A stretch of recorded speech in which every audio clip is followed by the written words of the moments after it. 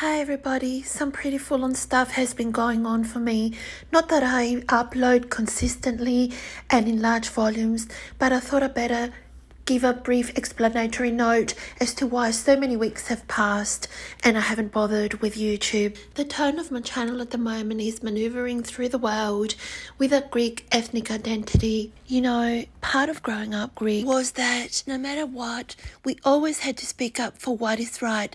I remember one time in Greece, an older man going into a rage because there were people who would abuse the children, burn them with cigarettes hit them, smack them up, beat them up, make them look as if they were sorry and had injuries so they can collect money. It was the gypsies who did that a lot, but I'm not trying to discriminate against them. It was just part of the harsh reality and part of the harsh existence living as a Roma person in uh, Greece at the time. So I remember one guy who got off the bus at the same time as us. Right at the bus stop, there was one of the community kids who looked in an atrocious condition. He went up to the child and asked the child what he wanted to eat so he could go and buy buy it for him. Then his mother came forward and said, No, he wants money. And the man refused to give him to hand over money because he knew that the money would go to his mother to do as she wished with. Now I know that she was a poor lady. Anybody might challenge. So what if the money went to her? But he was also this guy was very much aware that these people abuse the children just to appeal to the compassion of the masses and generate money on the violated kids' back to make an income on their misery, a profit on their suffering. And so you see, the broader Greek community always comes together when it's time to speak up against what's wrong and when it identifies injustice. Western people are more laid back and tend not to stick their nose in other people's business, but not us Greeks. We have to say something. I would like to acknowledge that you can't make generalizations. There are always exceptions to the rule. And I've said it before, I'll say it again. Even among our people, of course, there are those without empathy or compassion, but overall, our people are encouraged very much to make social commentary, to care about everything, and to express both their feelings and their opinions when it comes to certain going ons, certain social phenomena, and topics that matter. We are very vocal when it comes to politics too because it affects the citizens and the state of the country. We can't help it. We're a passionate people. I like it like that because to me it always felt as if my community, my direct circle, but even the indirect circles of people, strangers whom I didn't know, and would comment or get involved in what they observed, cared about others, not just themselves. It may be inevitable, you can't help it, there will be cruel people, even amongst our own racial minority. But the point is that we are brought up in a manner that discourages apathy. We are the embodiment of the opposition of apathy. So here I am. I'm quickly going to address Foodie Beauty because she's the exact antithesis to that. She embodies apathy. In her most recent online shenanigans, she spoke about the fires that are burning out of control in Canada, and instead of having some kind of compassion about the wildlife, nature, and the danger the whole situation poses for residents there, no sensitivity exhibited from her whatsoever. She made it all about herself again and said, Well, you're going to blame me for that too. What do you want me to do about it? Hold a vigil?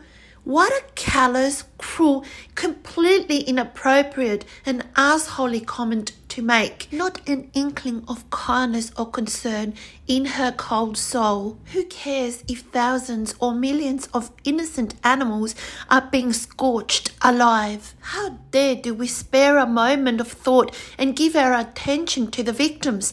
This should be all about her. No sorrow, no feelings for anyone outside herself in psychopath fashion. Do you recall the time? No, I won't let you forget about it, Chantal, which wasn't too long ago when she mocked the animals she ran over. Not only did she laugh about it, but she actually made fun in such a cruel and callous, cold hearted way. What do you want me to do about it? go to Trader Joe's and buy some artificial flowers to hold a vigil for the roadkill? What a douchebag. She can't understand why people are so much against her, why they despise her or at the very least dislike her. She can't see anything that she's doing as wrong. Either that or she's purposely choosing to ignore it. In most probability, though, she believes she's infallible. Others are the villain, the ugly monster. People who have narcissistic personality disorder, as I do believe she has, if not being a full blown psychopath or sociopath in the least, having NPD means that in their eyes they could do no wrong. It is them against the world. Everybody is out to get them, and they don't want to be normal because they're special. It makes them be unique, it makes them stand out.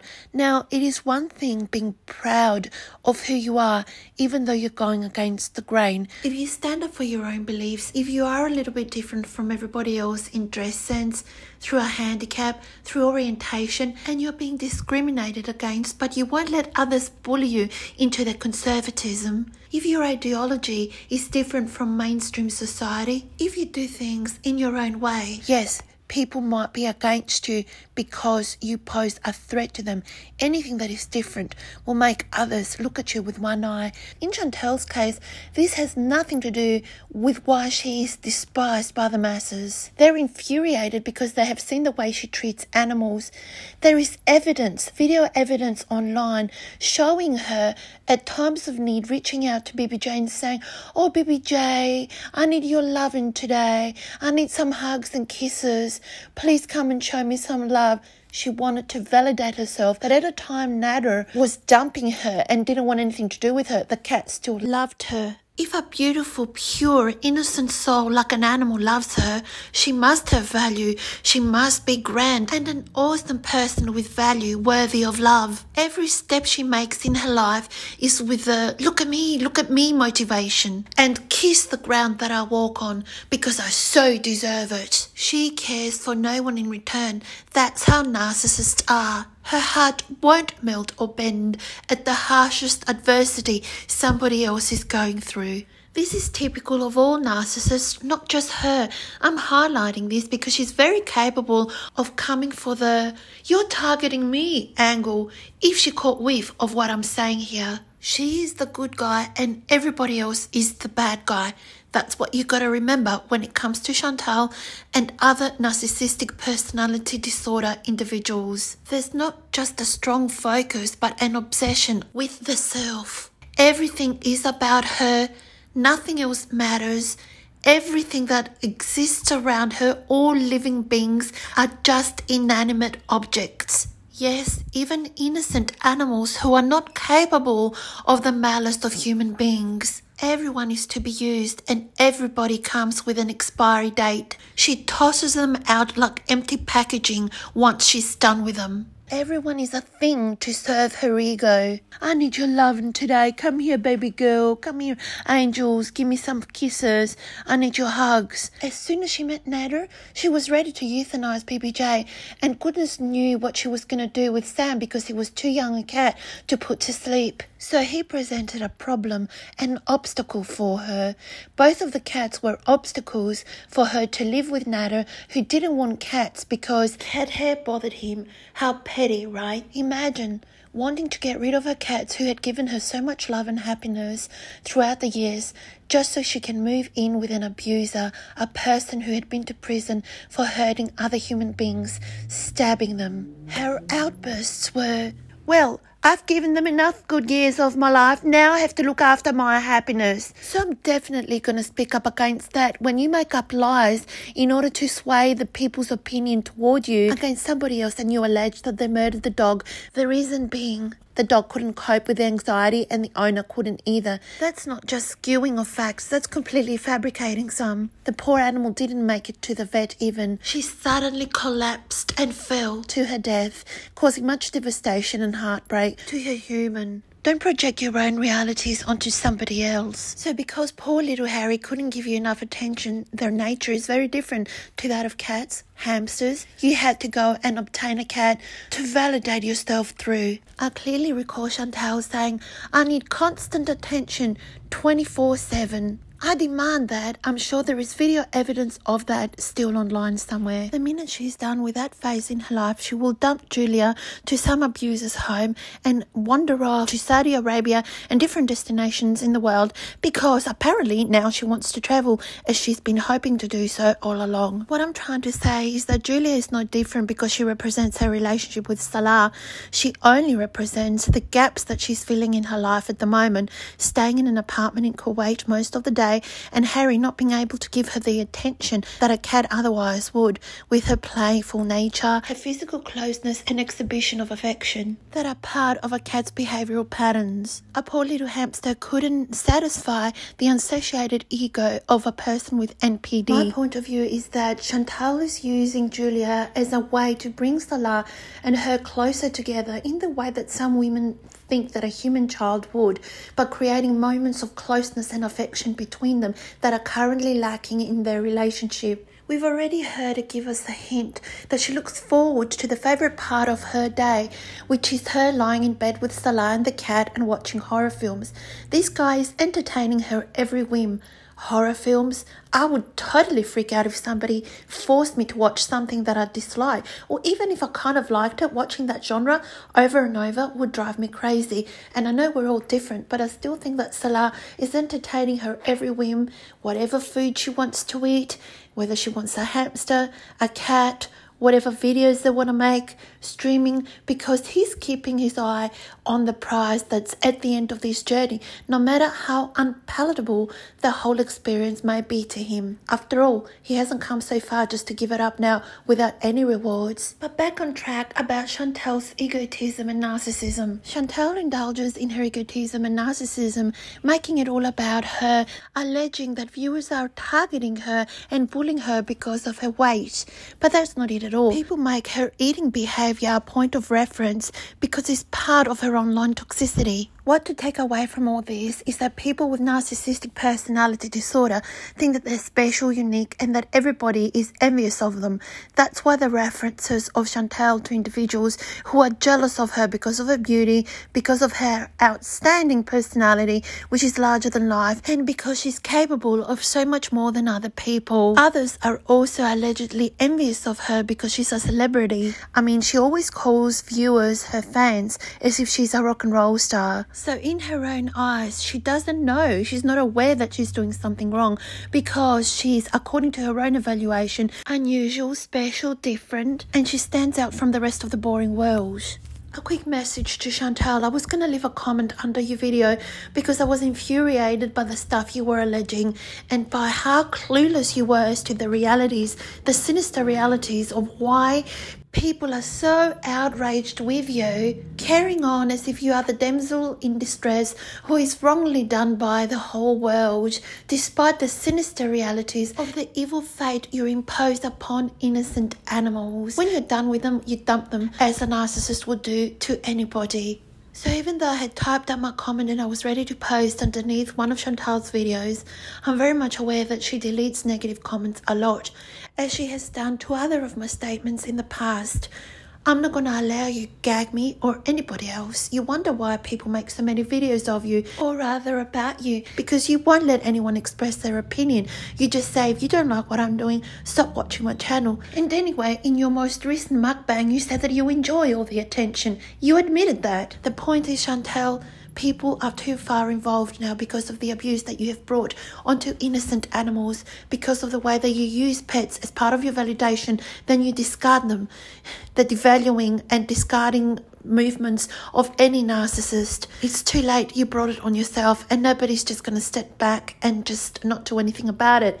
The least they're going to do is shout from the rooftops, What an evil witch you are. Don't try to gaslight us. Again, like any narcissist would, we know what the facts are. It's not because of BBJ's older age that you wanted to euthanize her. You used her older age to manipulate facts and to say that she was incapable and she now had to be euthanized. She's doing pretty well for an individual her age, at least I'd think, and so did the vet. Your own health is in a much worse state than BBJ's, but you have an entitlement, a sense that you've got every right to live. If we follow your logic, you should be put to sleep. You wanted to get rid of your cats as far back as Nader, and now again with Salah. You do this every time you meet a man and you want to go off with him. The cats become inconvenient, especially if these men don't want them in their lives or if these men live in other countries and you can't transport these poor animals. Finally, don't try to gaslight us as far as Salah is concerned and regarding the whole scam option. It is a scam because there is video evidence of you saying that within a week of meeting Salah, you were so smitten with him. Within two days of meeting him, you wanted to go to Kuwait and marry him because he proposed to you and you had accepted. You were excited. You said that he was in love with you. Two days after meeting him, it doesn't matter if you spent an entire week talking to him, even 24 hours a day, he was still a stranger. You knew nothing about, other than what he told you and what suited him. What decent and genuine man, 28 years of age, meets a woman who is at least 10 years older than him and gets smitten with her within two days and proposes to her, especially a woman who, with such a troubled past, with such a shady character online and such embarrassing behavior, and especially a man who comes from such a strict background. You know, I'm Greek, and growing up Greek means that I can't keep quiet about the BS. Moral of the story? Quit acting as if you're innocent because you're anything but, especially where the predicament of innocent animals is involved at your hands. I'm glad I'm Greek because what that means is having a big mouth, standing up and fighting for what's right, despite the repercussions, whether it will bring positives or negatives in my life, even to the point of destruction. I want to make it clear this has nothing to do with me gaining the favor of other peers, of other YouTubers, so that I might gain the support and so that they may promote my videos. If somebody says or does something I don't agree with, especially something that goes against my very fabric of morals, I will speak speak up against it. There are certain point of views I disagree with. One thing that really sits uncomfortably with me is when certain individuals refer to women as sharmutas because of the makeup level. Does that mean that women who use cosmetics are low class, easy, and promiscuous? I detest that. I also detest the whole concept of somebody trying to push their own ideas onto others and to disqualify those people's own, presenting their own perceptions as the correct ones while strongly strongly attacking and opposing the beliefs of other people. We all have our own perceptions for our own reasons, and providing they're based on ethical conduct and ethical code then that's okay. It's alright to have your own opinions. Despite my disagreement with other people's versions of things or the way they interpret the world or their particular biases and fixations, I commend kindness to animals above anything else because, regardless of all the trivial BS that we bicker about, if you've got love in your heart for little living beings, denoting, of course, all creatures great and small, it means you've got a good soul if you are showing concern, love, and care for the most vulnerable members of our community who are completely open to our evil, then that says volumes about you. Also, regardless of my difference in opinions over matters with people, I will stand up and speak up for them, not because they can't do it for themselves, but because what you're doing is wrong, Chantal. Fabricating entire facts, events, background stories, and details about their lives in order to discredit them. That's pretty low. And part of the dark triad in psychology that makes up very dangerous personalities psychopathy, which means a lack of remorse or compassion, narcissism, and Machiavellianism, which means mass manipulation. And you have exhibited examples of all. But just before I go, what I wanted to highlight it has nothing to do with courage and you going to the other side of the world to try something new when you went off to meet Salah in Kuwait. It has everything to do with desperation. Don't get the two confused. And because we must always back up what we have to say with evidence, I will bring this image to mind. The night that your grandmother died, Carly came into your live chat and you had the audacity to be laughing, throwing your head back and asking her, Carly, do you think that people will pay to see my on OnlyFans. So viewers think it's all about money. Of course she wants the money, but the main point here is her validation, just as it is for any person with narcissistic personality disorder. In Foodie Beauty's esteem, they're paying to see my private bits, therefore I must be popular, I must be desired, wanted, and envied. She doesn't see that people are actually tuning in because she's a spectacle, somebody that everybody is actually poking fun at, not because they are in awe of her in any shape or form. Sorry, Chantal, I don't like being cruel or mean, but you don't give a shit about anybody's feelings, and especially the welfare of innocent animals, or their basic rights for that matter. Why should we care about how you feel? More importantly, why should we feed or care about your ego, your narcissistic core? You keep seeking validation, and I understand that anytime people pay attention to you, even if it's negative, that kind of validates you. But we are here to rub the cold, hard facts in your face, just like you devalue innocent others. And while no human being can absolve him or herself from some kind of guilt, animals are completely innocent. Yet you use them, abuse them, and then discard them. We are aware, and nothing you say or do will detract from the truth. There is also evidence parts of your streams online that were your own undoing. In the end, despite the tactics of a narcissist, he or she is his or her own downfall. They themselves betray their own self, ironically, and reveal the truth amid the whole obsession with their self. Whether you believe in karma or not, I guess that is some kind of cosmic blind justice.